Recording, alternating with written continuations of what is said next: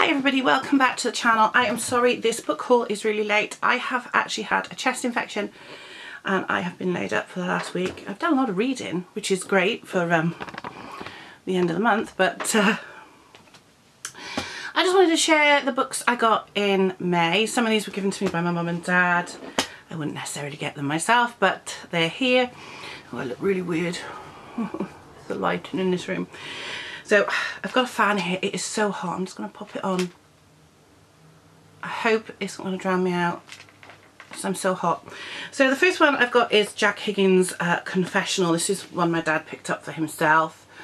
I'll read anything, as you know. So this one says, Mikhail Kelly's credentials were impeccable. Russian mother, Irish father, hanged by the British. He could split an apple or a head across a large room with a handgun. And his special talent was acting. The KGB gave him the perfect part, assassin. For more than 20 years, Chichulin has created chaos, fear and disorder in Ireland by hitting counterproductive targets on both sides of the border, making fools of British intelligence and the IRA. But Chichulin is a man whose time is nearly up.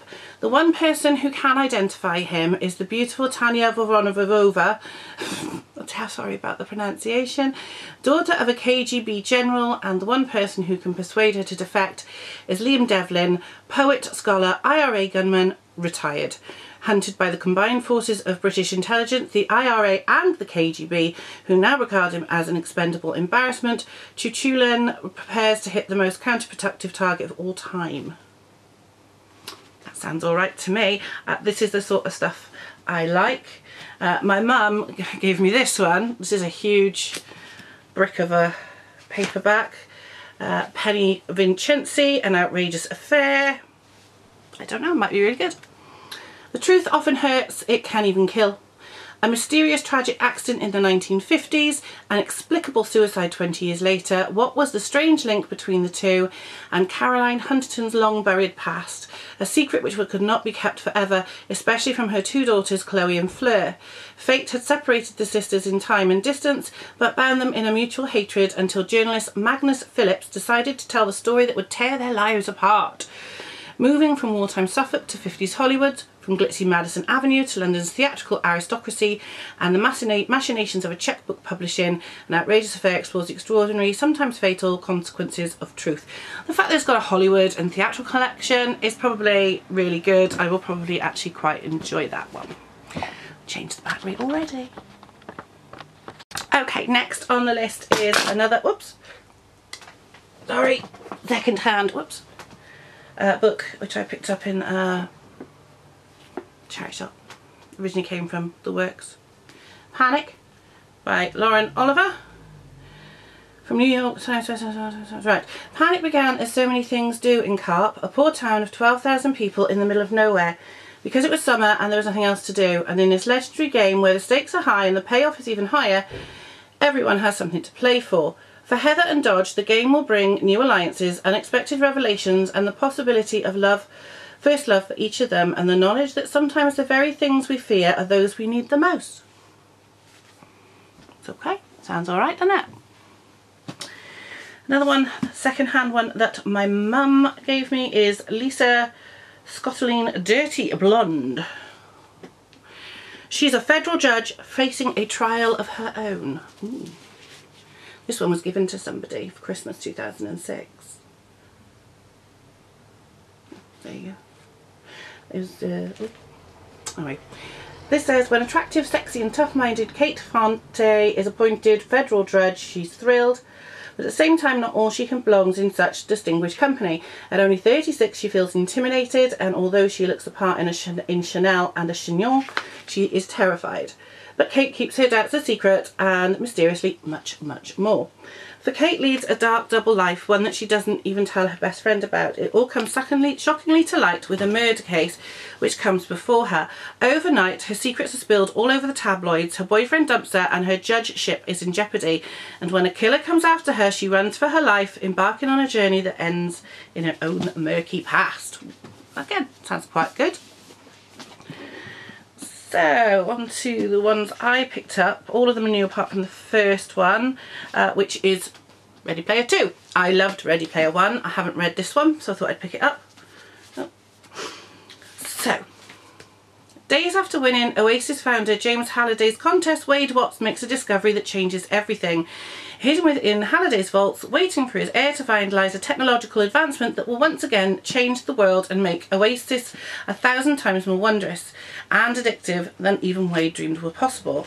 With it comes a new riddle and a new quest, a last Easter egg from Halliday hinting at a, hinting at a mysterious prize, and an unexpected, impossibly powerful and dangerous new rival awaits, one who'll kill millions to get what he wants.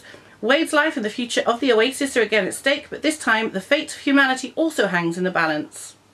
Lovingly nostalgic and wildly original as only Ernest Cline could conceive it, Ready Player 2 takes us on another imaginative, fun, fun, fun action-packed adventure through his beloved virtual universe and jots us thrillingly into the future again. Now I do believe this one is more 90s based. But, um, and I know that people don't like it as much as Ready Player One, but I did want to get it because I have Ready Player One and I wanted the matching cover. So I, got, I just got it on eBay. I do a lot of my book shopping on eBay, I'm, I'm not to lie.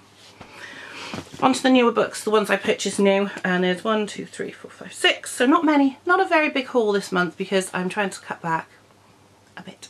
You know, and the first one is Marilyn related. It is The Other Side of Marilyn Monroe, Joe DiMaggio, Hollywood and the Afterlife by Brian Harker Johnson and Denise Lizcano.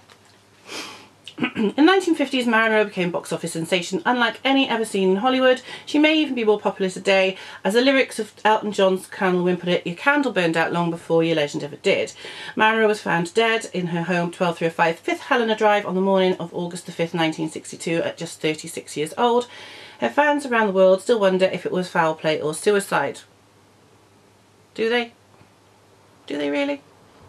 In the other side of Marilyn Monroe, journalist Brian Harker Johnson teams up with internationally known medium Denise Lizcano, I've never heard of her, to see if they can connect with the Hollywood starlet and find out what happened on the night she died. Okay. One I've been waiting for. Normally this author puts a book out every year. Last year he missed I was gutted, had to wait for this year. I believe this is book six in the Vinyl Detective series, Attack and Decay by Andrew Cartmel. The Vinyl Detective has been hired to acquire a rare record, Demonic Metal, for an eccentric client, Owyn Wynter. Why can't rockers spell their names normally? Because he spells it Owyn, O-W-Y-N, Wynter, W-Y-N-T-E-R. So far, business as usual. Only this time our hero just has to listen to the LP and authenticate it. So the detective and Nevada are off to Sweden with Agatha and Tinkler along for a jolly. Won't be a jolly for long though. Once the brutally disfigured corpses begin to pile up, the jolly, jo jollity quotient tends to plummet dramatically. And what's worse is the record is an ugly slab of savage industrial noise and the colourful personnel of the band have decided to turn up in town and feature high on the list of suspects. I must admit, I do like the Vinyl Detective books. Uh, the only other, well, it is the only non-fiction because unless you want to call this non-fiction, I would sort of put this as um, indeterminate, is Smoke Gets in Your Eyes and Other Lessons from the Crematorium by Caitlin Doughty. Now, Caitlin Doughty has a YouTube channel. It's called Ask a Mortician. It's absolutely brilliant. Absolutely fantastic. She does all sorts of good uh, videos about death, dying, funeral practices, embalming, um, different types of funerals you can have from eco, recomposing, cremation, traditional burial and embalming, re reconstruction. There's nothing gory on here to be honest. It's just very informative. It's a brilliant channel so go check it out as Ask a Mortician. But this book from her first day at Westwind Cremation and Burial, 23-year-old Caitlin Doughty threw herself into a curious new profession. Coming face to face with the very things we go to great lengths to avoid thinking about, she started to wonder about the lives of those she cremated and the mourning families they left behind, and found herself confounded by people's erratic reactions to death. Exploring our death rituals and those of other cultures, she pleads the case for healthier attitudes around death and dying full of bizarre encounters, gallows humour and vivid characters, both living and very dead, this illuminating account makes this otherwise terrifying subject inviting and fascinating. I am completely with Caitlin um, and a few other people with the thought that we all gotta die. We all gotta die. since Victorian times, and the Victorians were the worst for this, these are the ones who have made it why it's so terrifying. They mystified death, they hid death. Before people lived with it, they dealt with it, they moved on, and it was a, a wheel, it was a circle. The Victorians mystified it with all their rituals and their black mourning wear and their great big mausoleums and tombs. But in learning about death, you take away the mystery you take away the mystery of dying, you take away the fear, which means you can enjoy your life better. Clark Gable said it in The Misfits.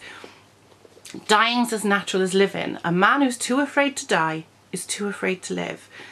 And there's no point because it's going to come to us all and all we can do is live the best life we've got now without worrying about what's going to happen in the hereafter, whether you believe in the hereafter or not. I am looking forward to reading this. I'm going to be reading this one very, very soon. So look out for that on the channel. I picked up two BookTok uh, favourites. I picked up, well, this one's been doing the round since YouTube years ago, Ugly Love by Colleen Hoover. Now, I'll be honest, the only other Colleen Hoover book I've read is Verity, which I did enjoy. I got an eyelash stuck. So I thought I would pick up another one. So I got this one. Uh, it's not exactly love at first sight for Tate Collins when she meets the tormented and secretive Miles Archer. They wouldn't even go so far as to consider themselves friends. The only thing Tate and Miles have in common is a mutual physical attraction that can't be denied.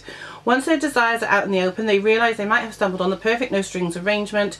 He isn't looking for love and she doesn't have time for it, so that leaves just the sex. What they've got could be surprisingly satisfying as long as Tate can stick to the two rules. Miles has for her. Never ask about the past and don't expect a future. They think they can handle it, but everything is different when real emotion starts to change the equation. Hearts get infiltrated, promises get broken, rules get shattered, love gets ugly. You'll have to excuse me coughing, this is the remnants of the chest infection. I'm feeling a little bit ugh, but it's okay. And then because, I mean, some people love the next book, some people hate the next book. no, it's not COVID. I have done a test. In fact, I've been doing them intermittently over the last few days. And that's uh, Where the Crawdads Sing. Um, I just thought I'd pick it up to see what it's about. For years, rumours of the Marsh Girl have haunted Barkley Cove, a quiet town on the North Carolina coast. So in late 1969, when handsome Chase Andrews is found dead, the locals immediately suspect Kya Clark, the so-called Marsh Girl, but Kya is not what they say. Sensitive and intelligent, she has survived for years alone in the marsh that she calls home, finding friends in the gulls and lessons in the sand. Then the time comes when she yearns to be loved. When two young men from town become intrigued by her wild beauty, Kya opens herself up to a new life until the unthinkable happens. Excuse me. Sounds good though. Sorry about that. And the last book um, that I got this month is the Stephen King for the month, which is The Dead Zone. It's a lot thicker than I remember it because I've read this before. This is my June Stephen King. I was six months through the challenge and I'm doing fine. And this one is Waking Up from a Five-Year Coma After a Car Accident. Former school teacher Johnny Smith discovers that he can see people's futures and past when he touches them. Excuse me. Many consider his talent a gift, but Johnny feels cursed. His fiancée has met someone else and people are clamouring for him to solve their problems. When Johnny has a disturbing vision after he shakes the hand of an ambitious and immoral politician, he must decide if he should take drastic action to change the future. Now, I love this story. Um, it has been made into a film with Christopher Walken. I've not seen that film, but it also was made into a television series. With I think it was Anthony Michael Hall was his, is his name. Uh, and obviously the series is a lot longer. It, it, doesn't dwell as much on the outcome of the book which is to deal with the immoral politician though he does come up in it. Sadly the series was axed before it could get into that section of the book. Um, but it's still a really good story. I'm really looking forward to rereading this. So this is a reread and a new read uh, uh and my Stephen King for the month. But those are all the books I picked up in May. Uh, what do you think I should read? I mean, obviously we're halfway through June now and um, I have read a lot of books already, but is there anything on this list? Other than Stephen King and Smoke Gets In Your Eyes, because I'm going to be reading them next, that you think I should be reading, um, let me know in the comments below. And I'll see you in the next one, which will be when I stop coughing, my wrap up of books for May. I'll see you then.